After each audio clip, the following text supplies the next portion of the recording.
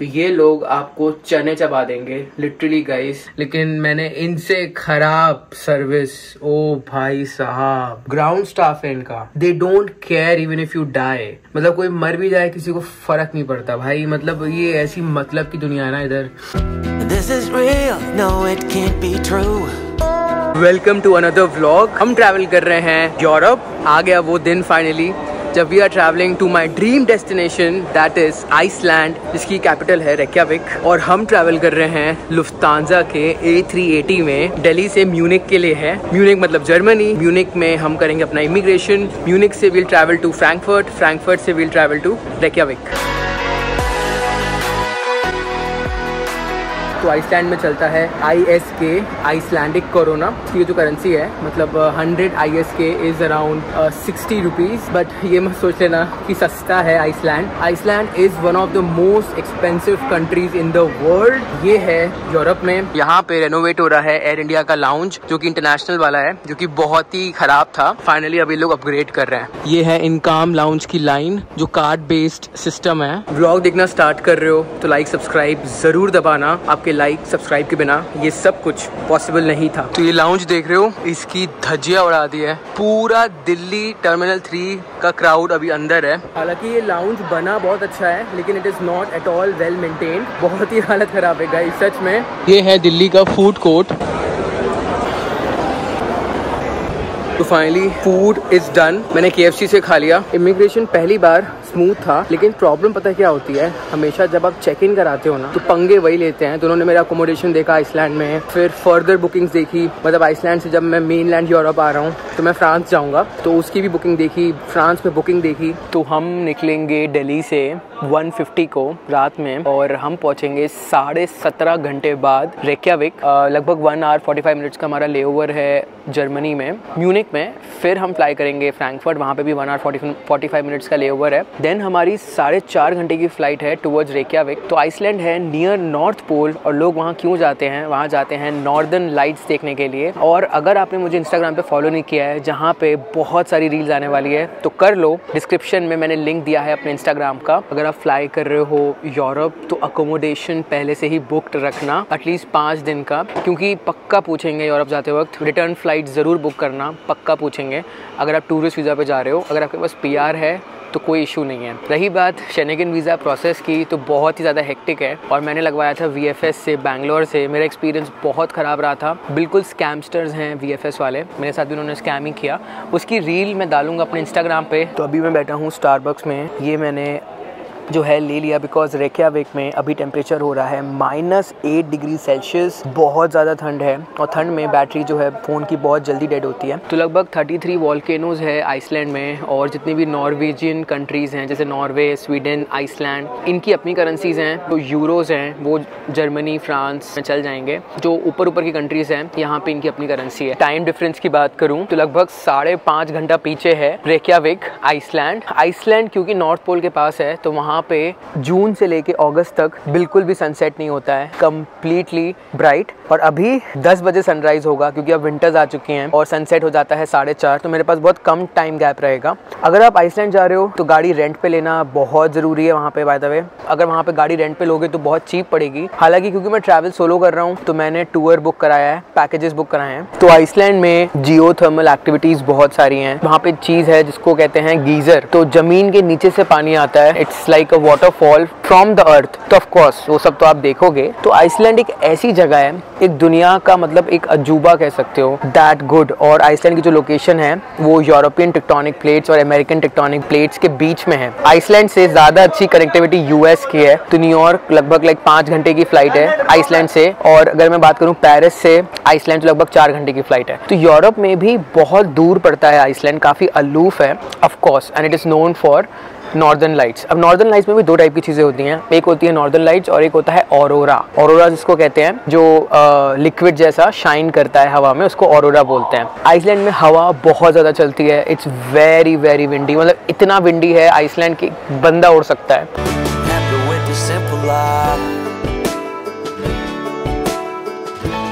आज ये फ़्लाइट पूरी फुल है and by the way it's A380 the capacity is 500 plus passengers finally boarding this giant bird to Munich actually हम तो जा रहे हैं वैसे आइसलैंड डिले है बाय द वे फ़्लाइट और इस प्लेन में अपर डेक में भी इकोनॉमी क्लास है.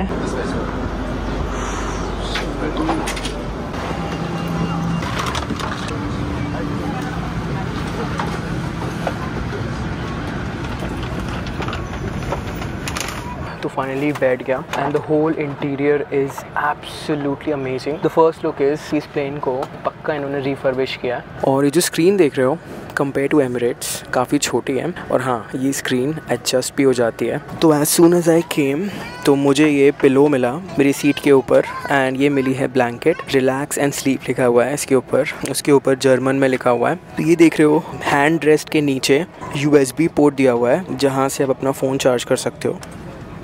And one very unique thing ये देख रहे हो तो हैंड रेस्ट पे ही सारे कंट्रोल्स दिए हुए हैं even though in economy and I think this is much more convenient क्योंकि ये ए थ्री एटी है तो ऊपर हाथ पहुँचने नहीं वाला एनी anyway. तो वीडियो में आगे बढ़ने से पहले मैं आपको मिलाना चाहता हूँ अपने दोस्त यश से, जो कि एक एक्स ऑनलाइन कसिनो डेवलपर है। उन्होंने डेवलप किया है ऑनलाइन प्रिडिक्टर इनको ना सारे सीक्रेट्स मालूम है। हेलो दोस्तों तो कैसे आप सभी लोग? तो दोस्तों, आज मैं आपको एक ऐसे प्रेडिक्टर के बारे में बताने वाला जिससे आपकी एविटर में जीतने की चांसेस पूरे 10 परसेंट से बढ़ जाती है 100 परसेंट। इस प्रेडिक्टर को बनाया है मैंने और मेरे दोस्तों ने। तो चलिए दिखाता हूँ। So, ये आपका एविटर प्रेडिक्टर ये बहुत ही सिंपल है जैसे कि आप देख सकते हैं इसका इंटरफेस सही में बहुत सिंपल है। तो यहाँ देख सकते हैं आपका कॉफिशियंट आ रखा है 1.31 का तो एक्स स्क्रीन पे 1.31 का ही कॉफिशियंट है। तो बहुत ही ज़्यादा आसान है। और जैसे कि आपका नेक्स्ट कॉफिशियंट आने वाला होता है तो जैसे कि आप देख सकते हैं 1.21 यहाँ पे सेम ये आ जाएगा। तो ये ऑलरेडी इन एडवांस आपके नेक्स्ट कॉफिशियंट को प्रिडिक्ट कर देता है। बहुत ही ज़्यादा आसान है ये।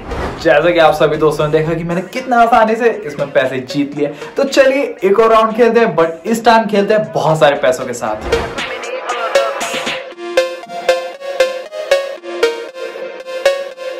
तो दोस्तों, इस बार मैंने बनाए पूरे पचास हज़ार रुपए और आप भी ऐसा कर सकते हैं। मैंने प्रिंटर का लिंक डाल दिया है डिस्क्रिप्शन में तो अभी की अभी जाकर इस प्रिंटर को चेकआउट कीजिए और इस अपॉर्चुनिटी को बिल्कुल मिस मत कीजिए। तो दोस्तों, उम्मीद करता हूँ कि आपने प्रिंटर को ऑलरेडी ज्वाइन कर लिया होगा और आपकी लाइफ में चेंजेस आने शुरू हो गए होंगे। यहीं से you can call the crew volume up down कर सकते हो and look at the quality of the cushion it is absolutely premium तो अगर मैं लुक एंड फील की बात करूँ, सच में first impression is the last impression and the first impression is quite good except the leg space I feel could have been better IFE screen could have been better though उसके अलावा अंदर से plane में feeling आ रही है कि ये plane नया है और ये रहा magazine holder the worst part is मुझे विंडो के नाम पे विंग के ऊपर सीट दी है अगेन लेग स्पेस कम है, लेकिन अगर मैं आपको बात करूँ इसको रिक्लाइन करने की तो बहुत ज़्यादा रिक्लाइन हो रहा है इवन मोर देन एमिरेट्स मेरे सामने देख रहे हो this is for the bottle यहाँ पे पानी रख सकते हो, चाय कॉफ़ी रख सकते हो। This is the tray table जो कि साइज़ डिसेंट है but again I feel that this flight is very congested very congested for some reason even though ये ए थ्री एटी है मे बी इन्होंने ज़्यादा सीट्स के चक्कर में थोड़ी इसको कंजस्टेड बना दी। इस प्लेन में 70 परसेंट फॉरनर्स हैं मतलब सिर्फ़ 30 परसेंट इंडियन है। तो पहली बार मैं ऐसी कोई फ़्लाइट बोर्ड कर रहा हूँ इंडिया से, जिसमें इंडियंस कम और फॉरनर्स ज़्यादा हैं। लिटरली पूरे मतलब जर्मन्स हैं इस प्लेन में। तो अगर मैं बात करूँ जर्मनी की तो Germany four and the half hours पीछे है इंडिया से टाइम में। तो जैसे हम 150 डिपार्ट कर रहे हैं ना तो हम जर्मनी पहुँचेंगे सुबह 5:55 को मतलब लगभग नौ घंटे की फ़्लाइट में। सुबह ही पहुँच जाएँगे जर्मनी तो सुबह होगी नहीं मेरी फ़्लाइट में। साढ़े चार घंटा पीछे है जर्मनी एंड एस एस एड आइसलैंड साढ़े पाँच घंटा। मोबाइल फ़ोन आपके हाथ में गर्मी से पकड़े होने चाहिए या दूर रखे जाने चाहिए?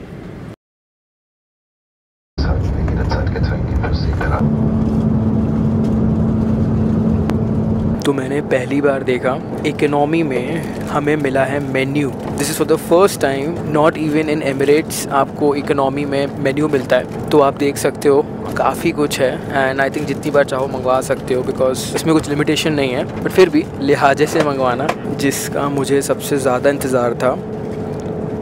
एक वाटर बॉटल जो कि बहुत ज़रूरी है बिकॉज़ आठ घंटे की फ़्लाइट है एंड पानी बहुत लगने वाला है एंड प्लेन में आपको होता है डिहाइड्रेशन तो पानी जितना हो सके उतना पिया करना। उसके अलावा हमें ये स्नैक मिले हैं. सो फार आई फील कि प्रीमियम वाली फीलिंग तो आ रही है। बस एक चीज़ बोलूँगा, ये जो आईएफई है, ये थोड़ा ख़राब लगा मुझे। मतलब इट इज़ नॉन रिस्पॉन्सिव काफ़ी पुराना लग रहा है। इसके अलावा तो पूरा प्लेन नया लग रहा है। तो आप देख सकते हो, काफ़ी ज़्यादा स्लो है। मतलब इसका पूरा सॉफ्टवेयर ये देखो, ये सर्विस देखो और ये सर्विस देखो। तो guys a snack is here ये है लगभग आठ घंटे की फ़्लाइट तो इस आठ घंटे की फ़्लाइट में दो मील्स मिलती हैं। तो क्योंकि ये फ़्लाइट का जो टेक ऑफ़ है, वो है अराउंड रात में दो बजे। तो डिनर तो नहीं मिलेगा बिकॉज़ तानजा वालों को पता है कि भाई खा के चढ़ेंगे। तो इसमें मिलता है ब्रेकफास्ट और स्नैक तो अभी आ गया है हमारा स्नैक और ये जो देख रहे हो, बड़ी सी सॉस जर्मनी की लग रही है मुझे ये सॉस भी। एंड जो पानी की हमको बॉटल मिली है even that is a German company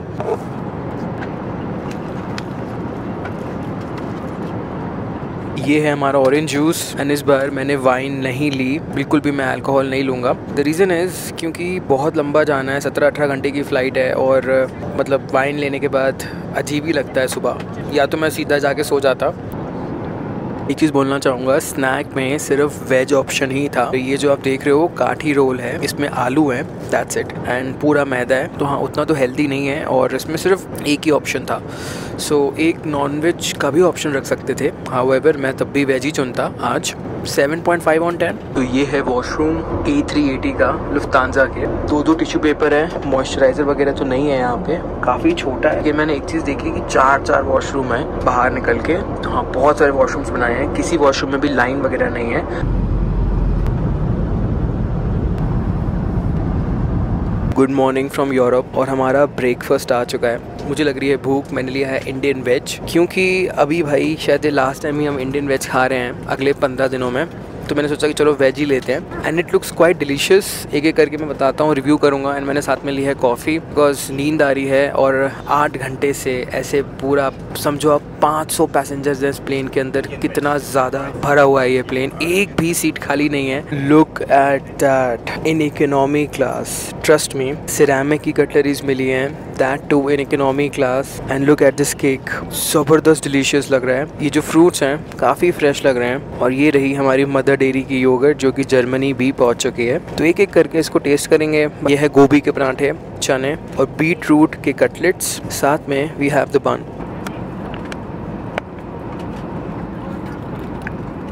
तो छोले ऑफ़ कोर्स कल रात के बने हैं, लेकिन इट इज़ वेरी डिलीशियस मज़ा आ गई खा के लग नहीं रहा कि मैं कुछ वेज खा रहा हूँ। तो लेट्स ट्राई दिस गोभी के पराठे। Even after almost seven hours in the flight ये पराठे बहुत ही फ्रेश हैं really really appreciable and the best part is the whole cutlery तो पराठों को तो straight I give around 9.5 on 10 क्योंकि बहुत सॉफ्ट है एंड चने भी इजीली 9 ऑन 10 तो मैंने कॉफ़ी मांगी एंड इकोनॉमी में look at the cup ceramic cup in economy and the whole presentation of coffee is excellent और साथ में हमें मिले हैं creamers in fact. and these beetroot cutlets are absolutely 10 on 10 without a single doubt this cake absolutely deserves 10 on 10 once again wow would rate even better than Emirates जो मैंने Dubai जाते वक्त खाया था अब ख़त्म करते हैं देन मैं आपसे मिलता हूँ so as a token of thanks हमको मिली है ये चॉकलेट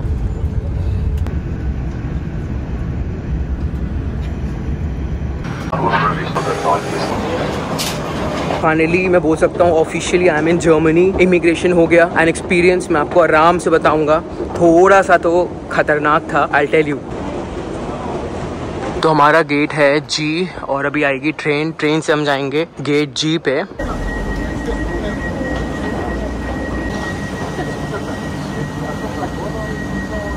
तो मैं आ गया हूँ अपने अगली फ़्लाइट के गेट के सामने that is G twenty eight और ये कोई कॉफ़ी मशीन लगी हुई है। तो पहले तो मुझे लगा कि फ्री है लेकिन बाद में देखा ये कॉफ़ी के rates two point nine five euros तो भाई हमारी फ़्लाइट जो है वो और ज़्यादा लेट हो गई है आ, क्योंकि यहाँ पे एक रनवे बंद है।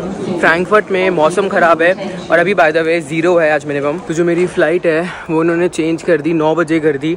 अब मैं पहुँच रहा हूँ रैक्याविक शाम को चार बजे। तो एवरीथिंग इज़ मेस्ट और मुझे भी लग रहा है कि बस मेरा सामान जो है वो टाइम से पहुँच जाए बिकॉज़ अगर सामान नहीं आया तो बहुत दिक्कत होने वाली है। सो so, क्योंकि मेरी फ़्लाइट चेंज की है सामान तो पता नहीं अब किस फ़्लाइट में जाएगा मौसम ख़राब है यहाँ पे फ़्लाइट्स उड़ नहीं रही हैं। तो आपको यहाँ एयरपोर्ट में जगह जगह लुफ्तानजा के लाउंजेस मिल जाएँगे। लाउंज के नाम पे सिर्फ़ कॉफ़ी मिलती है।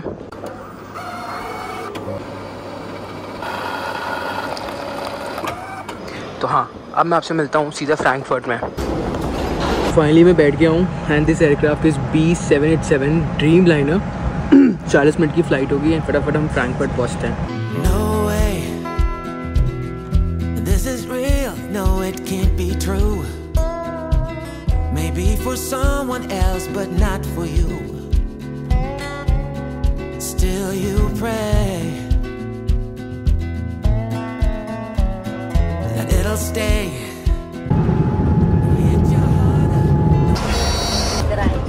तो भाई ये है फ्रैंकफर्ट का एयरपोर्ट। तो क्योंकि लुफ्तानजा ने सब इतना मैसअप कर दिया, टेन यूरोस का वाउचर मिला है, जो कि मैं यूज़ कर सकता हूँ। तो मैं अभी भी जर्मनी में हूँ। होटल जाके मैं आपको ये दुख भरी दास्तान सुनाता हूँ कि हुआ क्या मेरे साथ, और बहुत ठंडा मौसम हो रहा है। तो ये रूम देख रहे हो ये दिया है लुफ्तानजा वालों ने और मुझे होना था आइसलैंड में और मैं हूँ अभी फ्रैंकफर्ट में। ये मेरा सामान भूल गए म्यूनिक में और इनकी फ़्लाइट इतनी ज़्यादा डिले हुई कि सारी ही फ्लाइट्स इतनी ज़्यादा लेट हो गई कि जो मेरी आगे से फ़्लाइट थी फ्रैंकफर्ट से रेकियाविक वो मिस हो गई। और बाकी फ़्लाइट जो थी, वो अवेलेबल नहीं थी डायरेक्ट फ़्लाइट नहीं थी। और लेवर वाली फ़्लाइट थी, जो कि फिलेयर की थी, जिसमें पंद्रह घंटे लग रहे थे। तो वो प्रैक्टिकली पॉसिबल नहीं था। तो होटल लिया है, जो आपने खाना पीना देखा, वो तो चलो ठीक था। लेकिन उसके अलावा कभी आप फंस जाओ ऐसे। तो ये लोग आपको चने चबा देंगे लिटरली गाइस मैंने इनसे खराब सर्विस ओ भाई साहब। ओ इससे खराब सर्विस मतलब खाना अच्छा था प्लेन भी अच्छा था वो सब चलो ठीक है। प्रोडक्ट अच्छा है इनका। ग्राउंड स्टाफ है इनका। They don't care even if you die मतलब कोई मर भी जाए किसी को फ़र्क नहीं पड़ता भाई। मतलब ये ऐसी मतलब की दुनिया है ना इधर। तो ये रिसीप्ट है जो सामान मेरा घुमा हुआ है। और ये रिसीप्ट से मैं ट्रैक कर रहा हूँ कहाँ पहुँचा है कहाँ नहीं। तो पहले मैं स्पेशल असिस्टेंस वालों के पास गया लुफ्तानजा में, वहाँ जाके मैंने पूरा पूरा सब बताया। उस बंदे ने मुझे जान मुझ के गाइड ही नहीं किया कि आपको नीचे जाना है, लगेज सेक्शन में जो लुफ्तानजा का है, वो आपको रिसीप्ट बना के देंगे लॉस्ट लॉस्ट लगेज की। उसने जान मुझ के मुझे बताया नहीं गाइस जब मैं निकलने लगा, बाद में कोई लेडी आई, फिर उसने मुझे बताया। तो इट वॉज़ वेरी वियर्ड कि मतलब पता होने के बाद भी ये लोग जान मुझ के आपको गाइड नहीं करेंगे। अच्छा फिर मैं नीचे गया, वहाँ पे मुझे लगभग चालीस मिनट लग गया। फिर बंदे ने रिसीव दी है, और ये जो है सामान मेरा, वो रेक्याविक जाएगा सीधा? मतलब आइसलैंड पहुंचेगा और आइसलैंड पहुँचने का जो टाइमिंग है, मेरे सामान का और मेरा लगभग एक ही है। तो फिर एक टाइम पे पहुँच के मैं सोच मैं एयरपोर्ट से ही सामान लेके अपने होटल चला जाऊँगा।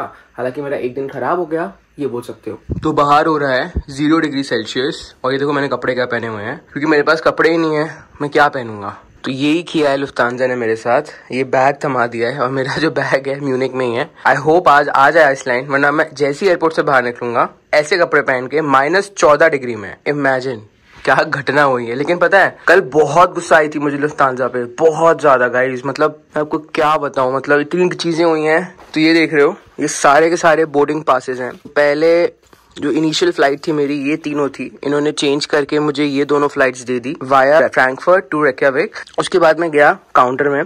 वहाँ जाके मैंने सब कुछ बोला तो उसने ये थमा दिया, बोलता वेबसाइट पे जाके कंप्लेन कर दो कंपनसेशन के लिए। मैंने कर दिया कंप्लेन बट गॉड नोस कब तक आएगा कंपनसेशन क्योंकि लॉस मुझे कम से कम, आप समझो तीस हज़ार का लगभग लॉस हुआ होगा, जो मैंने एक्टिविटीज़ बुक की हुई हैं। एक चीज़ बोलना चाहूँगा, कभी भी इंडिया से ट्रैवल कर रहे हो यूरोप या फिर तो ये जो कागज़ है ये है रिसीप्ट आपके बैगेज की। गलती से भी इसको मत घुमा देना, वरना बता रहा हूँ, ज़िंदगी ऊंच नीच हो जाएगी। इसको संभाल के रखना this is receipt of your baggage जब तक पहुँच नहीं जाता ना सामान आपके पास, और घर नहीं आ जाते आप, तब तक इसको मत घुमाना। तो ये मैंने संभाल के रखी हुई है, ठीक है? तो ये देख रहे हो कितना क्योस हुआ है मेरे साथ। तो ये देख रहे हो, देखो मैं ये पहना हुआ हूँ बिकॉज़ मेरे पास कोई ऑप्शन नहीं है, मेरा सामान जो है मेरे पास नहीं है। और अभी टेम्परेचर हो रहा है कुछ ज़ीरो डिग्री एंड इमेजिन ऐसे वॉक करना बिना सामान के और इट्स बिन 24 फोर आवर्स मेरा सामान घूमे हुए हैं और मेरे पास है नहीं और सीधा आइसलैंड में आएगा। इमेजिन अगर मेरा सामान नहीं आया आइसलैंड में तो इन कपड़ों में आइसलैंड जाना कुछ खतरों से खाली नहीं है। इमेजिन करो कितना डिफ़िकल्ट होगा। So this has been the biggest aviation night मैं चाहूँगा कि किसी के साथ भी ये कभी ना हो। अभी मैंने पूरी रील डाली है इंस्टाग्राम पे। आप लोग मुझसे बहुत लोग समझ ही गए होंगे। कि सिचुएशन कितनी खराब है। अब देखो ऐसे वॉक करके जाना पड़ रहा है। बाय द वे एक चीज़ बोलना चाहूँगा कि जर्मनी है काफ़ी खूबसूरत और ये जो एरिया है ये एयरपोर्ट वाला एरिया है मतलब प्रॉपर सिटी तो नहीं है बट फिर भी देख लो एक ग्लिम्स तो ले ही लो जर्मनी की। सुंदर बहुत है और अभी ठंड बहुत हो रही है। मेरी बैंड बज गई गाइस इमेजिन ये कपड़े वो भी ज़ीरो डिग्री में। और बिकॉज़ ऑफ़ लुफ्तानजा मैं तो यही बोलूँगा और आसपास एयरपोर्ट एरिया में कोई भी कपड़े की दुकान भी नहीं है जो मैं खरीद पाऊँ कहीं से। तो फाइनली मैं आ गया हूँ एयरपोर्ट नए कपड़े खरीदने पड़े कोई ऑप्शन नहीं था एंड आई डोंट नो कि इसका कॉम्पनसेशन होगा कि नहीं।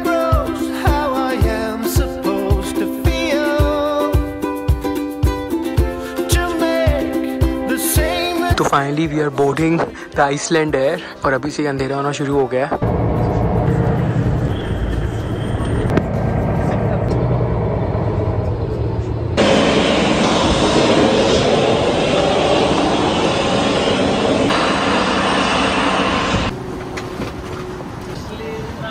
मुझे मिली है इमरजेंसी वाली सीट तो आई थिंक मेरे बगल में कोई नहीं आएगा and I can sit there hopefully and this is Iceland air and the leg space is huge तो अभी जो टेम्परेचर हो रहा है आइसलैंड में it is minus eight and feels like minus fourteen just imagine कितनी ज़्यादा ठंड है और मुझे अभी से फीलिंग आ रही है। हमें मिली है ये कॉफ़ी कॉम्प्लीमेंट्री। इसके अलावा अगर आपको कुछ खाना खाना है तो उसके लिए आपको पे करना पड़ेगा। पाँच छः यूरोज मैंने आपको मेन्यू दिखाया था। तो हाँ चिकन कोरमा और राइस भी है इंडियन मील जो कि लगभग अराउंड सात आठ सौ की है। प्लेन के हिसाब से तो ठीक प्राइस बोलूँगा। हालाँकि कॉफ़ी भाई, इतनी ठंड हो रही है, फ़िलहाल। और ये पजामा पहनना पहनना पड़ रहा है तो of course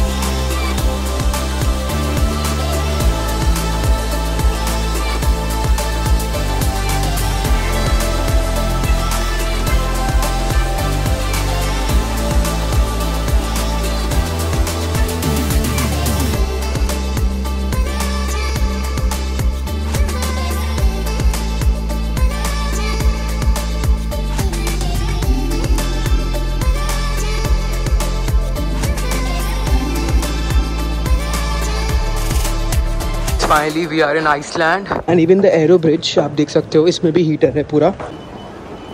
Finally we have arrived in Iceland और आई होप मेरा लगेज आ गया हो because that is the most important thing अगर नहीं आया तो बाहर मैंने ठंड महसूस की है। इट्स क्रेजी वरना पे खरीदना पड़ेगा कुछ ना कुछ। फाइनली गाइज़ सामान मिल गया।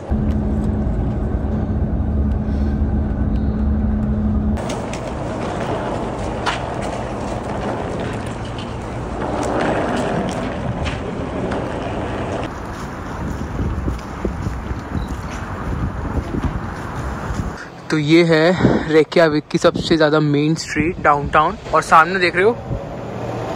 That is the famous church of Iceland और आइसलैंड में आई एस के चलता है ज़्यादातर, ये अपनी करेंसी यूज़ करते हैं। And this street is absolutely beautiful बहुत ही प्यारी वाइब्स हैं। और ये देखो, यहाँ पे भी भाई प्राइम मिलता है लोगन पॉल का।